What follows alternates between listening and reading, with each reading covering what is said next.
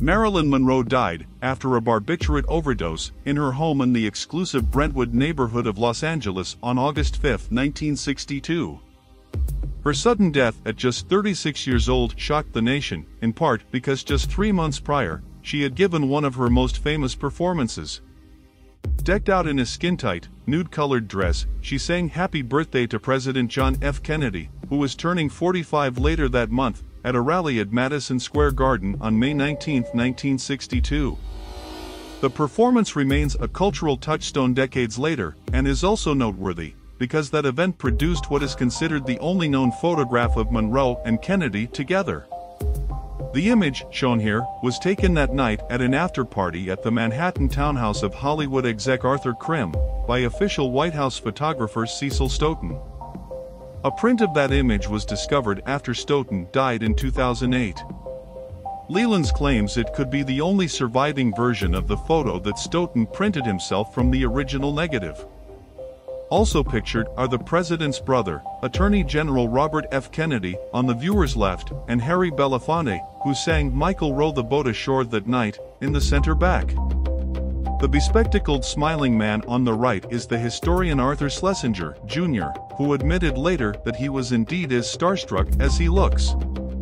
Monroe had also brought her ex-father-in-law, Isidore Miller, playwright Arthur Miller's father, to meet the president that night. I thought this would be one of the biggest things in his life as an immigrant, a 1964 Life magazine feature reported her saying.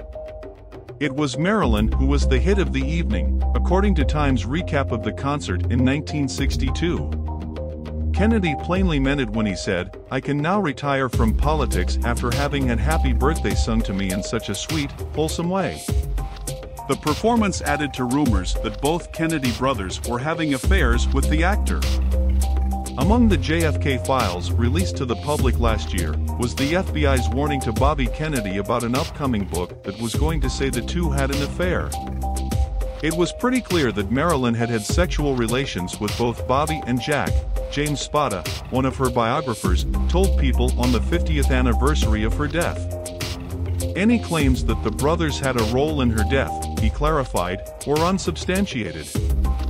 According to another biographer, Donald Spoto, Monroe and JFK met four times between October 1961 and August 1962.